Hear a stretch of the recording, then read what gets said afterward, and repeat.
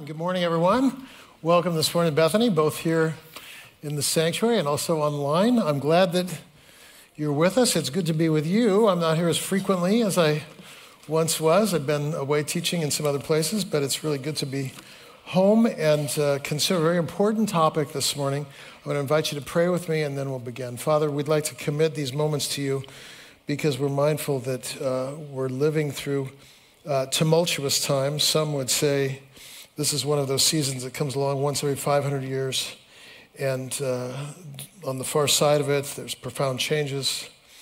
Uh, we would just collectively and individually express our desire to live faithfully in the midst of storms in order that we might be people of peace in the midst of turmoil and hope in the midst of despair and confidence in the midst of fear. Fill us and teach us, we pray in Christ's name. Amen. So I'm going to give you at the very outset here this morning the sermon in like 90 seconds because I know what happens. You get bored, you fall asleep, you take you look at your phones, and I want to make sure you get the main gig this morning and then we'll unpack it for those who are geeking geeking out enough to follow the whole way. But but this is a story about healing, and I'm just going to note here that at the outset uh, it's a, it's a story about both receiving healing and then being filled with the capacity to become a healer, right? And it's just know this it is God's desire, your wholeness. Your wholeness is God's desire.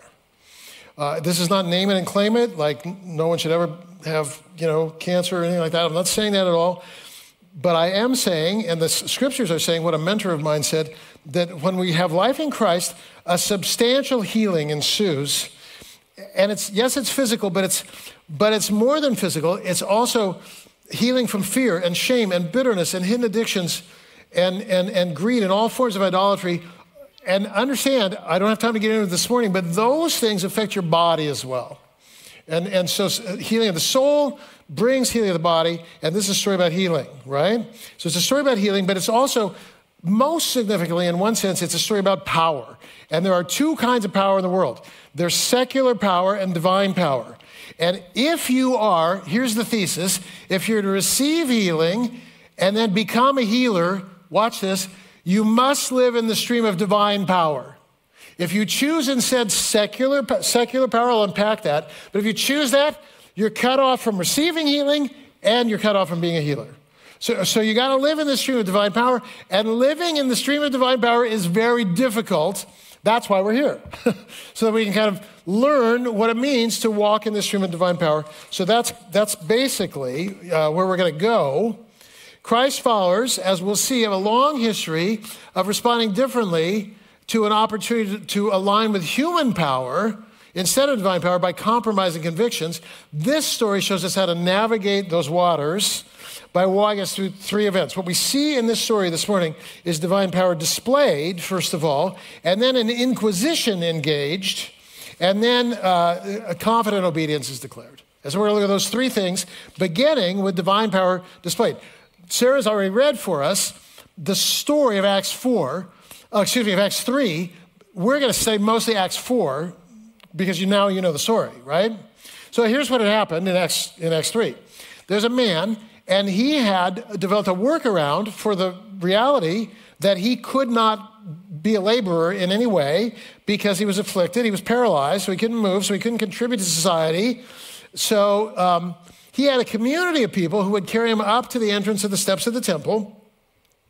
And there, as people come into the worship, he would uh, ask for gifts as a means of sustenance. And so people would give money, and that's fine. And then you heard the story. They asked Peter, he didn't have any money, but he gives them something better. He gives them healing, and it's very powerful.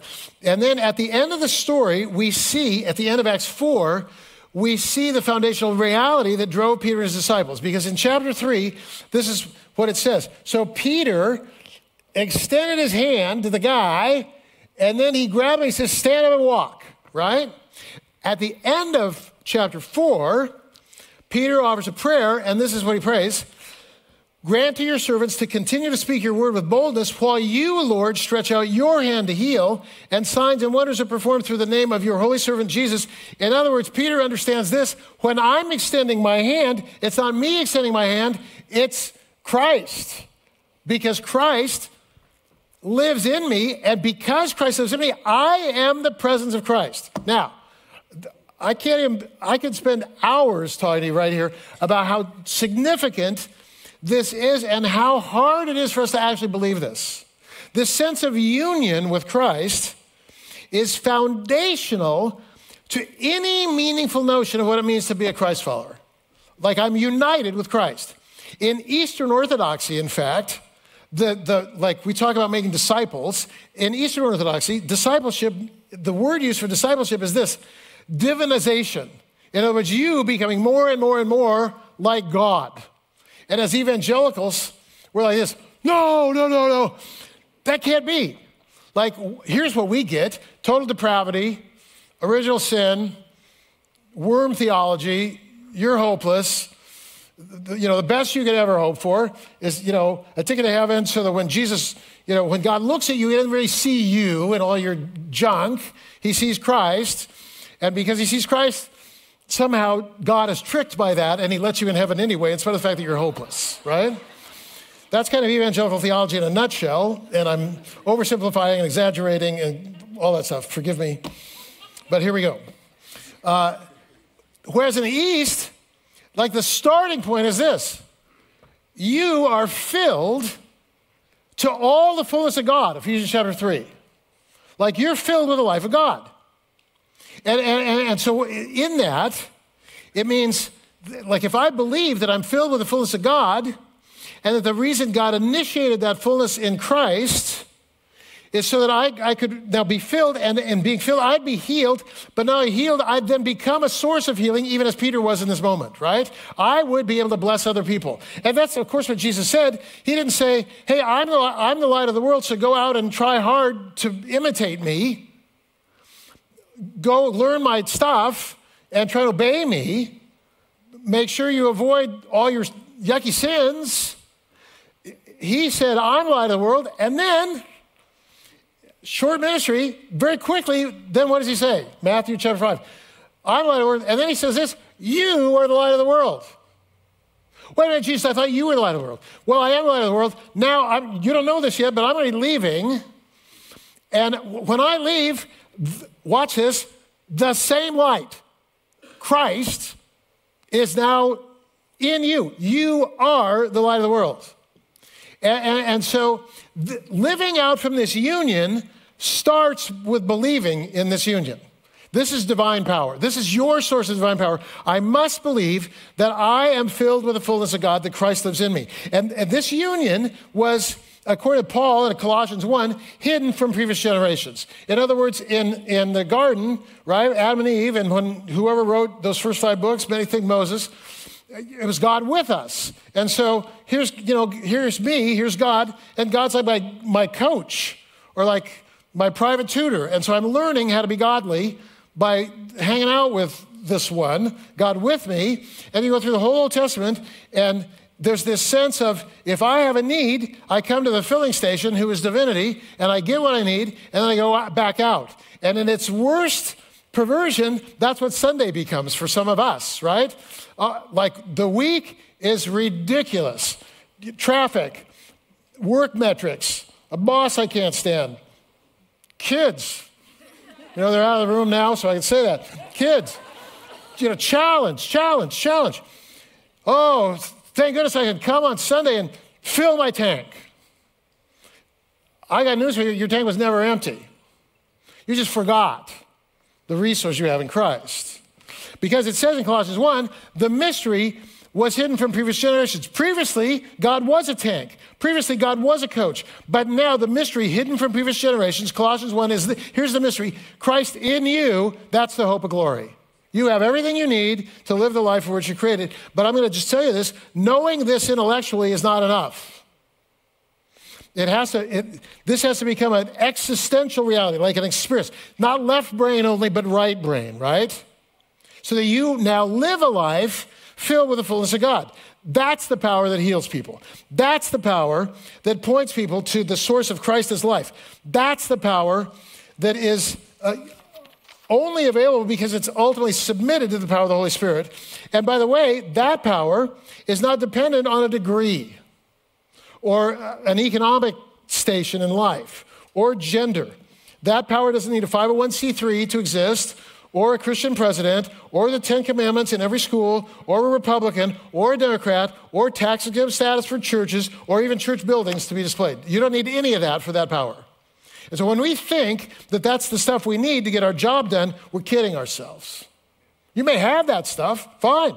Steward it, use it, but don't ever get addicted to it because that's not your source of power. Not, it's, it's not about your money, not your degree, not your sphere of influence. You don't need TikTok to have a ministry or a business or anything. You don't. The power of the gospel is completely unmoored from the power structures of this world. Hear me, God doesn't care. Historically, the church's most powerful transformative moments, in fact, have happened when they move from the margins rather than the center.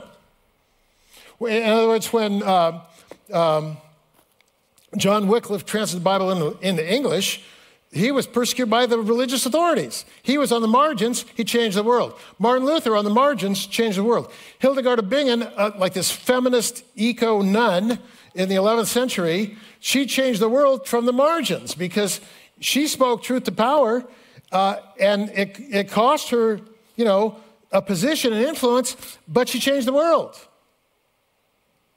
Underground Railroad, from the margins. MLK, voting rights, from the margins. Here are people without any human power or platform or media influence or political favor. They're changing the world. All the stuff we think we need, they don't have. What do we need? We need one thing the divine power of the Holy Spirit in union with God. And in fact, I would, I would go so far as to say that's not just what we need. In a very real sense, that's all we need. Because if I have that, I have everything I need to fulfill the calling that God has given me. But if I don't have that and I have everything else, I really don't have anything. So I would believe, and I don't have time to prove it to you right now, but I believe that if you're in Christ, you, you are filled with the fullness of God right now, right here. And you're like, oh, no, that's not me. You don't know my sins. You don't know the argument I had this morning. You don't know my little hidden addictions, whatever, whatever. And I go, okay, I get that. But here's the problem like, that power is not actuated into our experience without us believing it. And we don't believe it by nodding our heads. We believe it by, by continually saturating ourselves with that reality. It says in Romans 12, we're transformed by the renewing of our mind, but the renewing of our mind is not just taking notes, because your mind is not just intellect, it's affect. Do you know what I mean? It's emotion. It's left brain, it's right brain. It's, it's facts, it's neural pathways. And I need new neural pathways to look at my friend over here, Rich, who's a neurosurgeon of some sort. Like, I, like I need those pathways rebuilt. How does that happen? Well, for me, it happens in meditation. And uh, again, with the caveat here that every technique is just a technique, no technique is a secret sauce. The goal isn't to practice a technique, the goal is to make this real. How do I make it real? Well, I'll tell you what, when I get up in the morning, um, I sing a song in the shower. And it's a song that I made up. And, and I sing it every morning at least five times. It's a cold shower, but that's a different sermon. And I'm going to sing it now only because I want you to know the words and know that I'm vulnerable. That's the only reason. Might, not because I want a job singing. Come, Holy Spirit, heal me. Come, Holy Spirit, free me. Come, Holy Spirit, guide me. Come, Holy Spirit, fill me. Da da da da da da da. Da da da da da da da. Da da da da da da. Da da da da da da da. Three, four, five, six. Then I'm really cold. Seven. Then I'm warm. Different story. Eight, nine. I need, I need those realities. And, and by the end of the shower, I'm like this oh, yeah, I am being healed.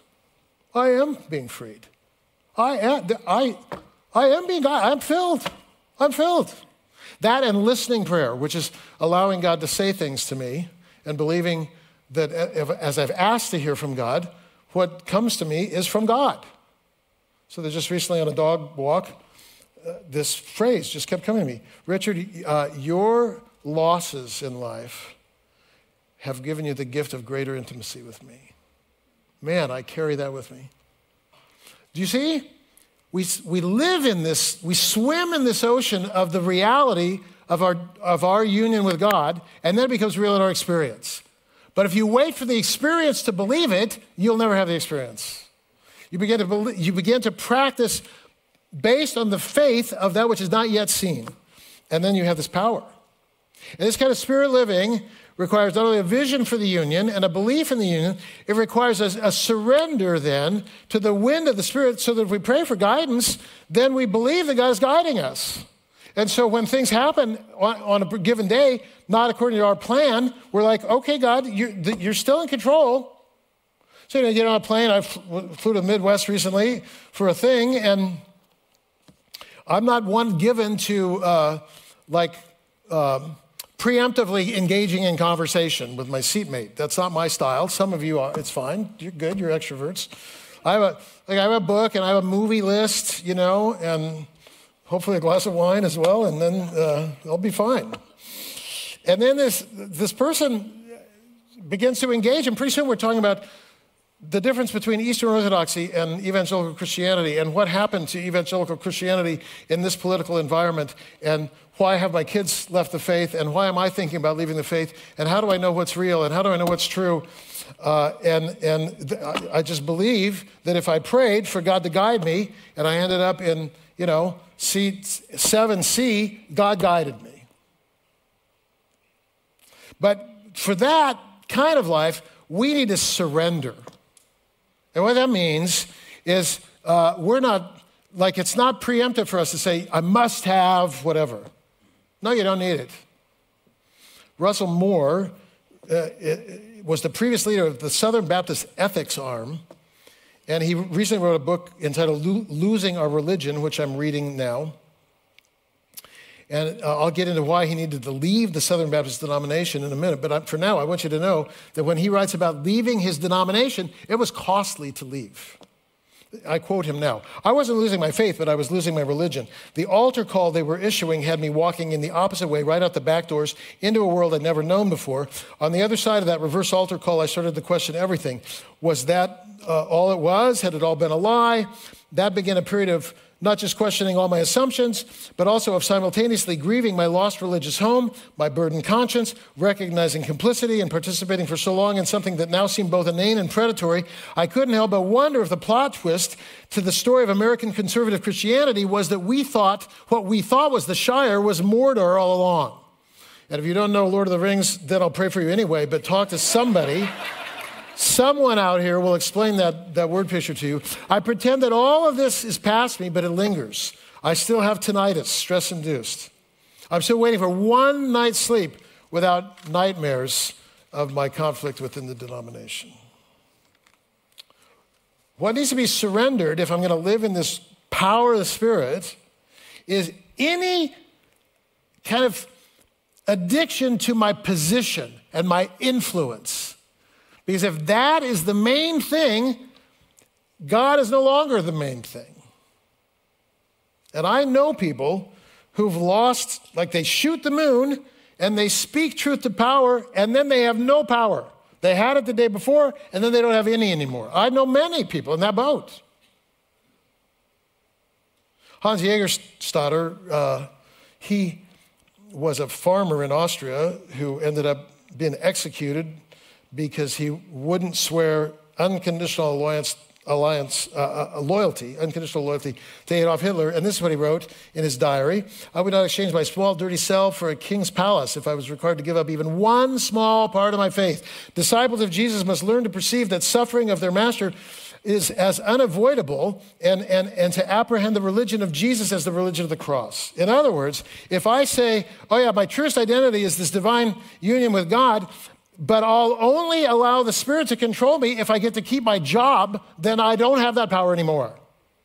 It's not, it's not, it's not that power plus my job, that power plus my 401k, that power plus my health, that power plus uh, the unity of our small group where we profoundly disagree and so I don't say anything anymore. It's not that. That's not it.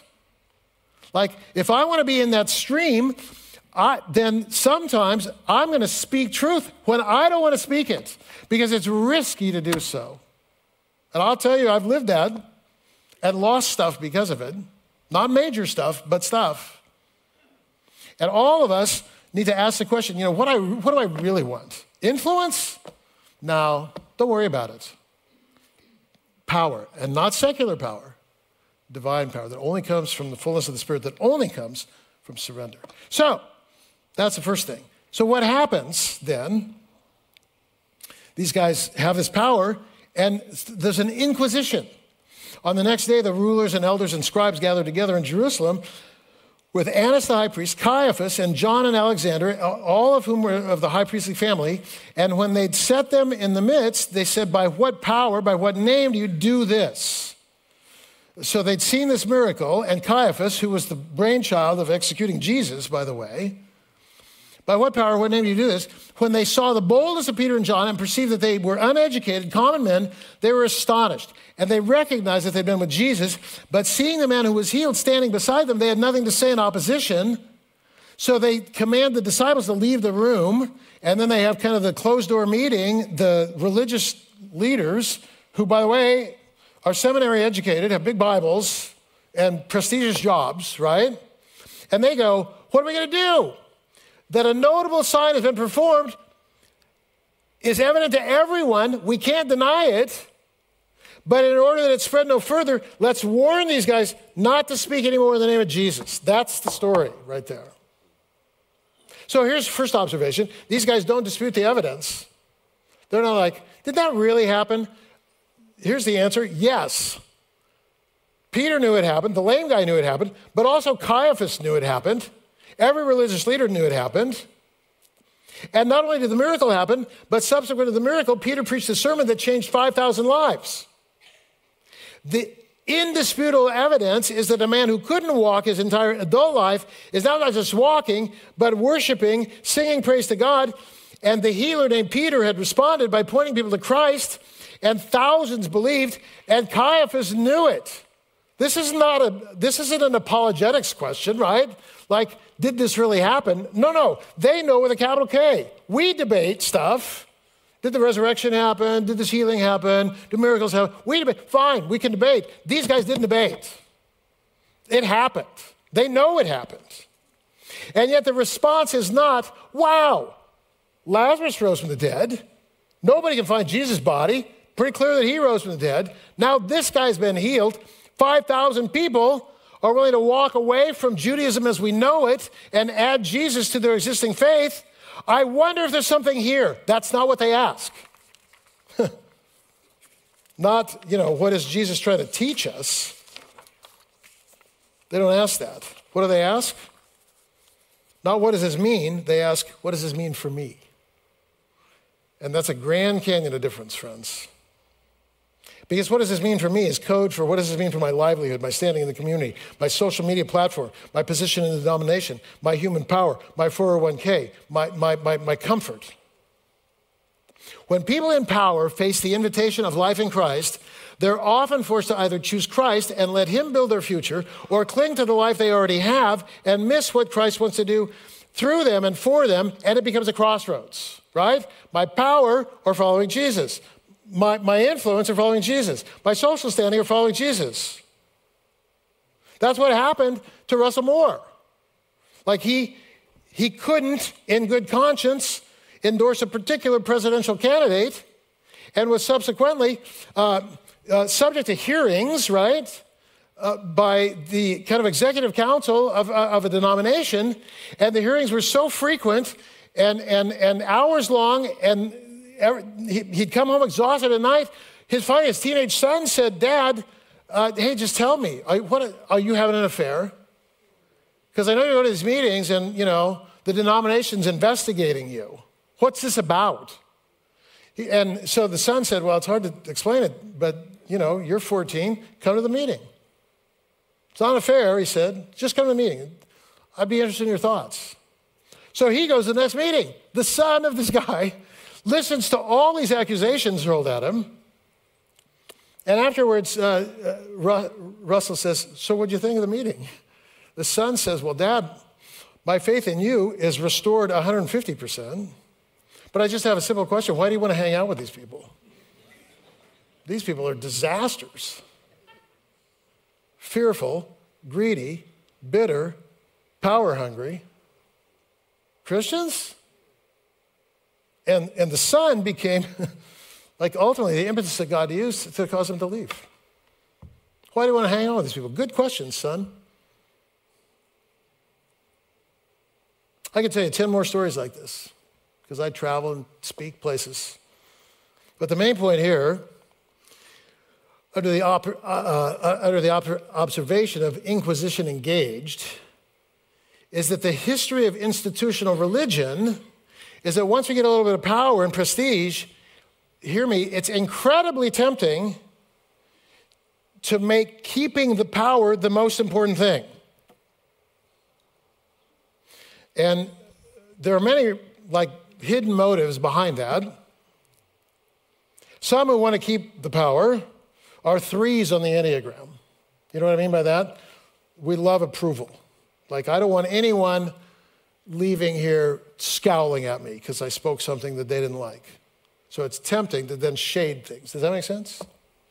The threes in the room know exactly what I'm saying. Some are narcissists and, and cannot endure not having the biggest crowd, the most adulation. Some are Epicureans. In other words, they just like the notoriety and season tickets people give them because they're doing a good thing. All kinds of things. Some are just plain afraid. Because physiologically, getting kicked out of your tribe is physically painful.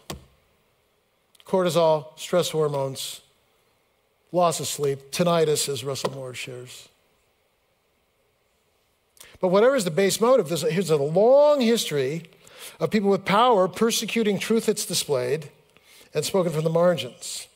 And the kind of power that persecutes the truth is the, is the sometimes the power of state, but sometimes it's the power of, uh, of the, it's sec, sometimes it's secular power clothed in religion. Does that make sense? And if you look at the sermon that Stephen gave in Acts 7, he, you know, he's speaking to religious leaders again, and he says to them, Acts 7, 51, 52, you guys are stiff-necked, uncircumcised in heart. You always resist the Holy Spirit as your fathers did. And then rhetorical question, which of, of the prophets did your fathers not persecute? In other words, you go back in the Old Testament, like who, who, who was mad at Jeremiah? People of God. Who was mad at Isaiah? People of God. Who was mad at Amos? People of God. Who was mad at Moses? People of God. They weren't persecuted by the state, they were persecuted by people with great big Bibles who sang Amazing Grace. Why? Because they had power, and, and to say yes to this lifestyle could cost my power. Man, does that still go on? Oh, yeah. I don't know if you follow occupied Ukraine at all these days. But there have been two stories in the news that I watched extensively in the last two weeks about evangelical pastors being arrested. Some have already been killed in occupied Ukraine. And here's the deal as long as you kiss the ring, you're fine. If a pastor gets up and says, Putin isn't invading us, he's restoring us to our truest identity as a nation and this is a good thing, and we just need to surrender and let him have the space. Then you get your pulpit, and you get your pews, and you get your nice, you know, windows and heat and stained glass. You get it. You get to keep it all as long as you kiss the ring. But those who don't are whisked away. Their building's appropriated, and it becomes a moral re-education center. And some of these pastors are dead. Yeah, it still happens today. So, what's the point then? Well, the point is the last point What's Peter going to do? And the answer is confidence, obedience declared. I, I knew the last point would be the shortest one. There's a minute left. It will be the shortest one. Peter and John answered and said, Whether it's right in the sight of God to listen to you rather than God, you judge. But we cannot but speak of what we've seen and heard. They threatened them further, let them go, found no way to punish them because all the people were there praising God. So they can't, they want to kill them. Russell Moore recalls uh, being told by the executive council in his denomination, We can't fire you because too many people like you, but we can make your life hell. and we will. Now let's pray. Really? Are you kidding me? That's our world, friends. Well, Peter doesn't worry about much. He says, you know, whether it's right in the sight of God to listen to you rather than God, you be the judge. We, we're going to keep speaking. It wasn't even a problem. Hans Jägerstätter said it this way I have to do what I have to do. I just know I have to do it. My family doesn't understand. My friends criticize me. He was most criticized by church leaders, but I know it is the word planted in my heart for me at this time. I must follow Christ. Not Christ and keep my job. Not Christ and keep everybody happy. Not Christ plus anything. Christ, end of sentence, right? Like Christ, mic drop. I have that power. That's all I need. And the wind of the Spirit may grow my ministry or shrink my ministry or fire me and I am somewhere else. Doesn't matter. I follow Christ. I just want to say to you with everything in me get there. Get to that level of courage. Get to that level of kind of unconditional, open handed, shoot the moon commitment. Get there. Whatever it takes, get there because there is adventure. There is peace. There is life. Nowhere else. If it's Christ plus preserving the little kingdom I built, no, it won't work. We'll forever be anxious, forever be fearful. How many have ever taken off in a plane and then the plane, you know, you get up there a little bit and the plane starts shaking? Has that ever happened to you? I hate that. Like, I'm not afraid of flying, but as soon as the plane starts shaking, because I'm not an engineer, I go, you know, I wonder, is it supposed to be shaking like this? Should we be worried? I don't know. Mm, you know, shaking. And then, through the miracle of Boeing engineers who do almost everything right, you know, I mean it, they do, it stops shaking. And then you're like, okay, turn on the movies, open the book, enjoy the flight, take a nap. You don't worry anymore. But there's an inflection point where you're like, oh man, this is, this is anxiety. Look, the crossroads between secular power and divine power, that's an inflection point. And when you, when you come to that, and you will if you haven't already, the plane is shaking. Because you realize to say full yes, hard stop to Jesus plus nothing could cost you your, and then you fill in the blank. Your reputation, the little, you know, comfortable peace you have in your small group, a family relationship, it can be costly. To follow fully is costly. Yeah, it is. That's the way it is. On the far side of shaking, I can tell you peace. peace. You want peace? Follow fully. Let's pray.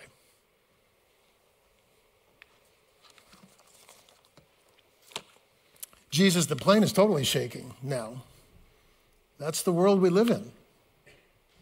It's a world of family divisions, a world of political polarization, a world of name calling, a world of anger, a world of protests, a, a world of misrepresenting protests, a world of fear. And Father, we would just express to you collectively our desire as Bethany Community Church to not be seduced by the secular power and influence, the, the methodologies of this world. Our desire is to follow you fully. And as we find ourselves at inflection, at inflection points, Father, would you give us the grace to really sing that song Come, Holy Spirit, heal me. Come, Holy Spirit, free me from fear and shame and guilt. Come, Holy Spirit, guide me the plane's shaking. I got to make a decision. Guide me. Come, Holy Spirit, fill me. As we follow you, we thank you, Father, for all that awaits as we become healers, having received everything from you. We pray in Christ's name. Amen. Let's worship together.